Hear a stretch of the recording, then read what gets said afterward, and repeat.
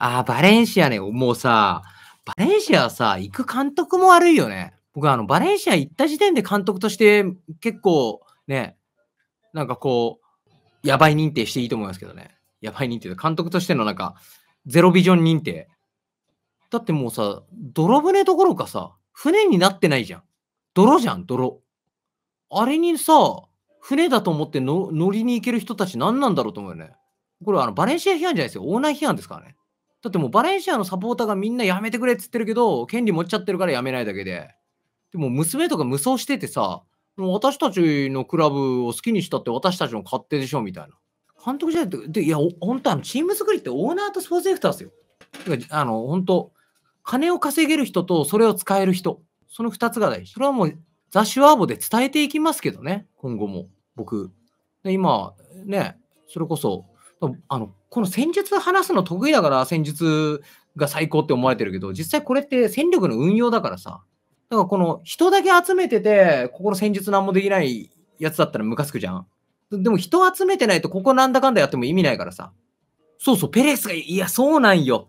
マドリーはね、本当フロレンティーノ・ペレスっていうか、フロレンティーノ・ペレスが作った組織が優秀っていうか、やっぱりね、あの、カマビンガとかロドリゴとか、まあ、ビニシウスもそうだけど、それは大金かけてるけどさ、大金かけて体制しない若手山ほどいいんじゃん。あんなちゃんとさ、メンタルもサッカー脳もちゃんと育ってく若手たち、あれ呼べんのすごいよね。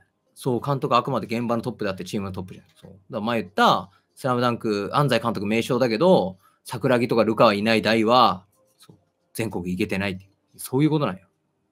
っていうと、もう、バレンシアがうまくいくわけない。まあ、そういうチームはなめんなみたいな運営してるチームいっぱいあるじゃん。でも、バレンシアに関しては行っちゃいけないよね、あんなとこ。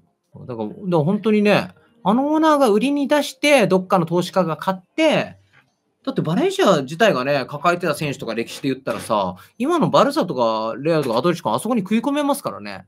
ピーター・リムのせいで全部おかしくなってるから。カラファトっていうスカウトめちゃくちゃ言われて、あ、それがマドリーナね。いや、ほんとね、すごいなと。だから本当あの、バルサとマドリーの差ってそこだと思いますけどね。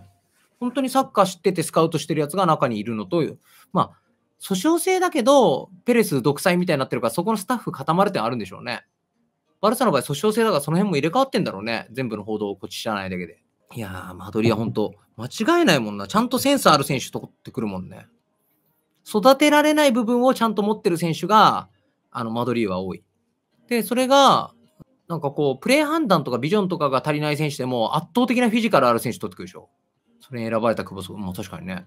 CL5 年前いたのか、バレンシア。いや、でも本当に。いや、それ当然監督とか選手の頑張りあってたけど、その頑張れる監督とか選手をちゃんと選んでくるのが大事なんですよ。だからマドリーもね、そういう選手たちをちゃんと取れてる、なんかこう、地味な補強もうまくいくさ、組織的な強さがあるからさ。昔はジダーネス・パボーネスって言って、時短的な外部のスターとカンテラから上がってきたスターみたいな感じでやったけど、それはうまくいかなかったけど、ジダーネスは続いてて、すごいなんかジミーネスみたいなの。これ、それこそフェランメンディとかさ、まあそういうふうに、スターじゃないけど取って、あ、だ風見ろとかそうだよね。地味な補強なんだけど、もう本当にマドリーの中核になうみたいな、そういう選手取ってくるみたいな、そういうのはうまくいってるからね。その地味ネスを間違えないのが大事なんだよ。バルサはちょいちょい間違うからさ。だから補強部にもそういうなんかこう的確というか器用な人いると思いますね。モドリッチも最初地味役だった。でもスパーズ活躍したけど、いくらぐらいだったの？接近ね。まあまあ、でも地味役だったよね。モノリッチを地味役していいのかっていうのはある。フェラメンディとかカセミロみたいな感じ。でもフェラメンディもそこそこ移籍したの。圧倒的な質があるかね、もう世界的にはすごい質があってそこに器用さがあるか。ロナウドとかベイルとかね、種類が違うけど圧倒的質の方だもんね。